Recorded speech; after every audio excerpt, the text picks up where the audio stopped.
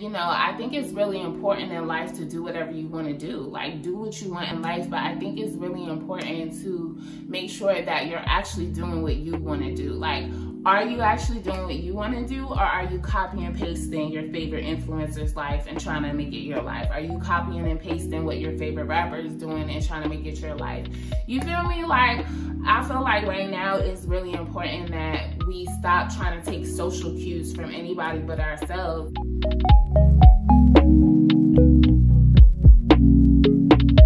i was outside for like an hour just sunbathing, so I know I probably look really brown. And I'm proud. On socks. One second. If you didn't drink enough water today, get you some water right now for this video. I'll wait. No makeup, just, you know, second, third day hair here, but you know, we're always making it and never faking it. But yeah, what's good, y'all? It's your girl, Myss Mystikal Rose. Welcome back if it's your first time seeing my face. Um, I basically make videos to help you create your optimal life experience um, by energy healing. So if that sounds like your type of party, you hear me, go ahead and subscribe.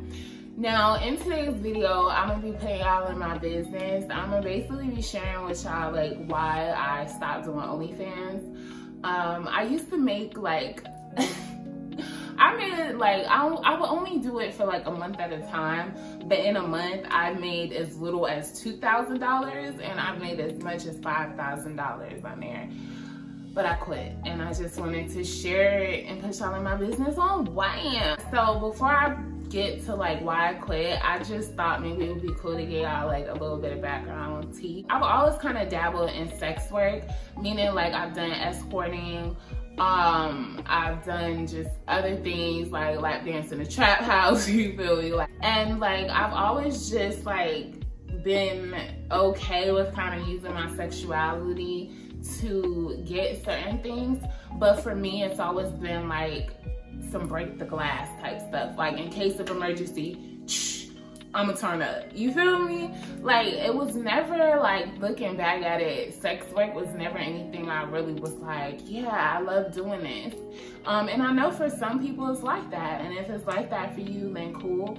But for me, I always enjoy being a woman because I know like if I need money, it's really easy to really easy to get. So um I've used my sexuality in that way now, as far as OnlyFans, what's so interesting to me is that OnlyFans isn't even a platform for that necessarily. It's really a platform where like creators can just create and it got like this super sexual connotation to it. And I just don't even recall like how that even happened. I'm trying to like think about when OnlyFans first became popular and I'm really, I'm trying to think like when OnlyFans first became popular and how we got to that place where it's like, we gonna be half naked and fucking on here, or excuse me, I'm trying to like clean it up. Hey LaShanta girl, if you watching this video, girl, we trying to work on our language. That's my, that's my girl. That's like my best friend. I love you, hey girl. But, um,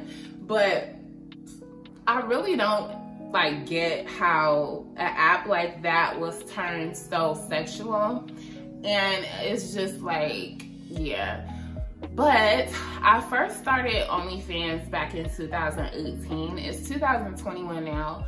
Um, the only reason why I started back then is like I said, like it was on some break the glass type stuff. You know, I had just lost my job and I just knew I could like run it up on there and I did, girl. Like what?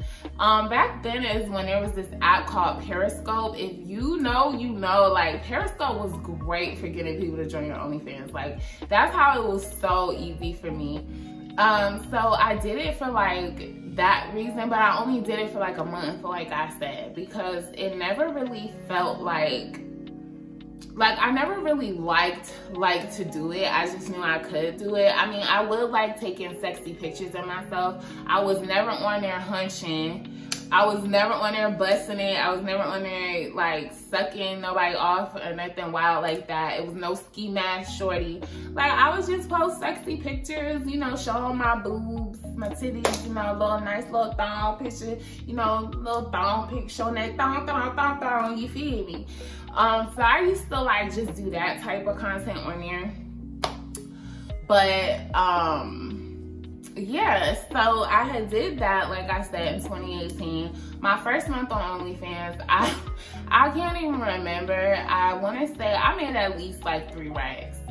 I made three racks my first month on there, but my subscription price was $30. So three racks wasn't hard. That's like a hundred people pretty much. A little bit more because they take a pay cut. But um, so like I said, I was really just doing that in case of emergency, but it was nice to get some savings and just have that for myself. And then afterward, I, like I said, I went back to working a regular job. Everything was everything.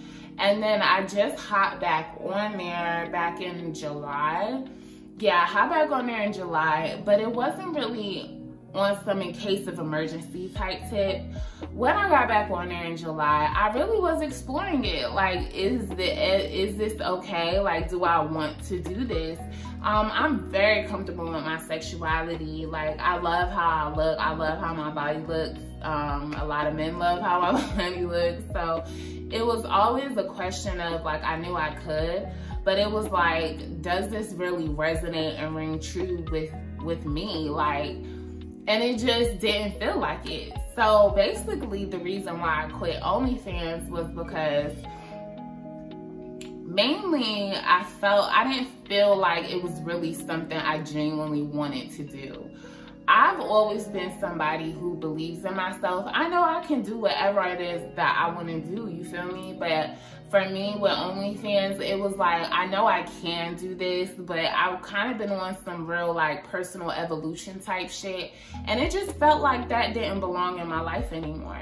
It felt like, you know, I want to be respected. And I, I mean, it's not to say that women who do OnlyFans um, can't be respected, but I, the end of the day, I know like the other things that I want to do in my life that I'm gonna do in my life. And so it's like to kind of have that as like the basis and then go into try to go into doing other things and being in other circles and trying to work with other people in the public eye. For me, I just didn't feel like it was a good career choice anymore. It's like I want to start my platform on here like and actually be feeding people good things. Um, and then another reason why I stopped doing OnlyFans is because I'm a spiritual guru. I'm a spiritual guru, y'all. Like I'm literally like an energy healer. I know all about that energy. You feel me? And so for me, it was like I completely understand for men from that standpoint for men, semen retention is really like important for them. I feel really bad because like a lot of men are over sexualized. They're doing this porn. They watch porn too much. They don't even know how to connect with women anymore.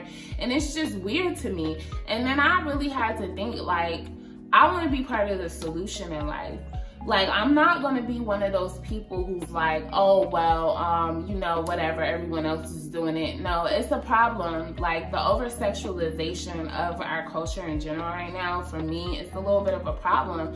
So it's like, yeah, I can be comfortable with my sexuality, but I also feel really exclusive. And it's like, I'm felt some type of way about the fact that whoever could see me like that, like, you just pay a little fee and then you can see all my little treats. You know, I, I really started to feel like that wasn't appropriate for me.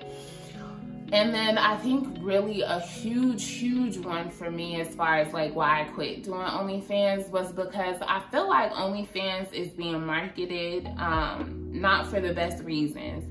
I feel like there is a really, I feel like right now is the time where we have to be mindful of how like mainstream media is harvesting our energy. Like I, I just like remember Beyonce saying on that demon time.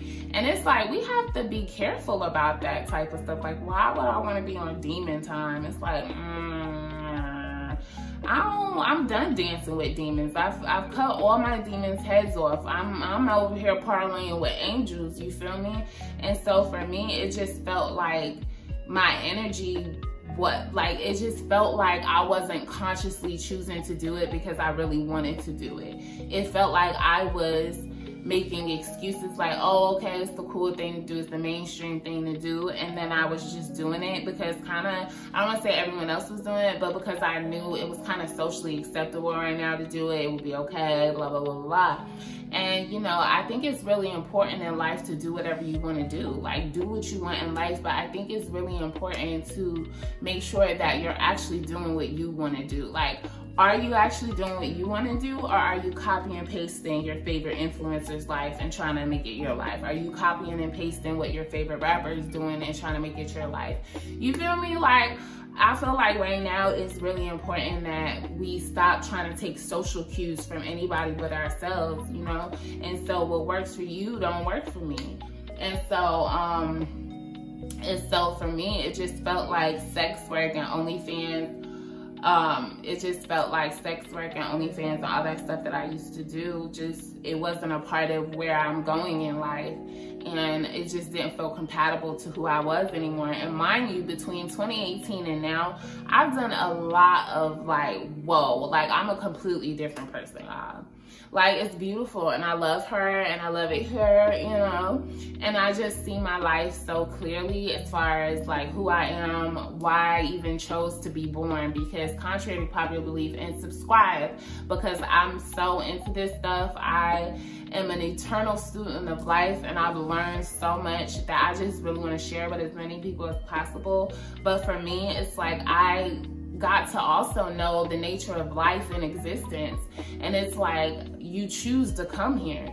And then I really started to ask myself, for me, that was a deep notion. Like, if I choose to come here, did I really come here to try to like get a quick buck and, you know, sell my sexuality? No. And then I think another thing as well with the OnlyFans is like, I want to move with integrity. You know, I only want to do things that hit me in my heart that really make me like, I like to do this. Like creating YouTube, like my YouTube channel, y'all, I love y'all. I love creating these videos. I love supporting people on their journey of just like growth and living their best life, like literally, you feel me? And so it's like, for me, I never want to, and not that I never, but that was also something else I had to check myself on is like I was making decisions for money. Like I would deal with a guy because he had money. I would do this because of money involved. And then at that point, it's like, oh shoot, that just scared me. y'all, I be seeing like all type of stuff. Like, I'm sorry, y'all. like I'm, I'm a spiritual chick and I just like open up different things within myself. So sometimes I see things and I just saw something out of the corner of my eye, so forgive me. Uh, but for me, money, I just want to make sure that I'm always moving in integrity with my heart. And I just decided that I was tired of making money my master. I was tired of doing things for money. You know, that's why a lot of people are afraid to step out on faith and try to do what they really want to do because they're worried about their money situation or just that's what has a lot of people treating people good or bad is because of money. Like I've met so many cornballs with money and I know they be getting played just because they got money. And so I'm just over money. Like I think it's cool. It's a great tool to like live whatever life you want. But I just felt like I was tired of letting money decide for me what I was going to do. And I just decided that that I wanted to make decisions based on my heart and what I really felt led to do versus like, oh, I can do that to get money. You feel me? Like, I just only want to move in integrity with myself and with my heart. And in my heart, it just didn't feel like I was a match for doing OnlyFans anymore.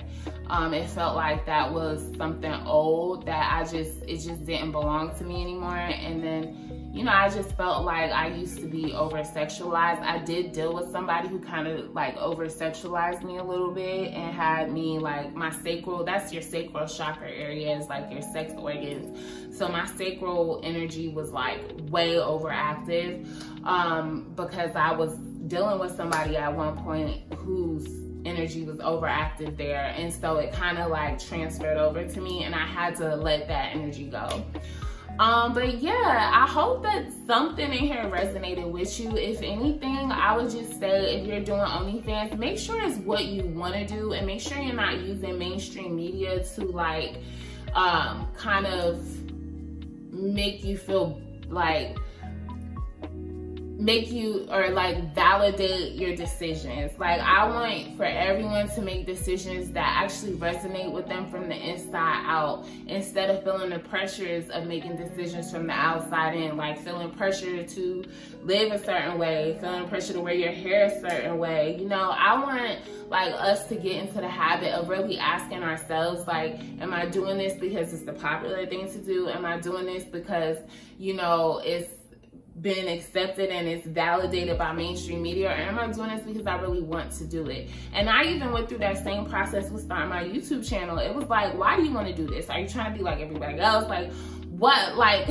what is it giving sis? Like, why? And it's like, do nothing without intention is ultimately it. And I decided, you know, I actually enjoy making videos. I enjoy editing them. I enjoy all of it.